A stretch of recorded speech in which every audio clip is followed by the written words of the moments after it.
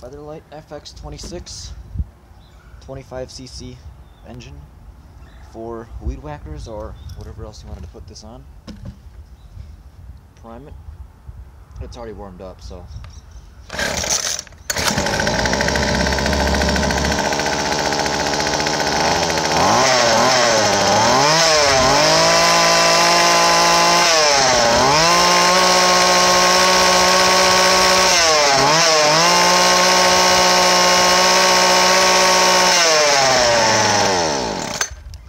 Runs fine.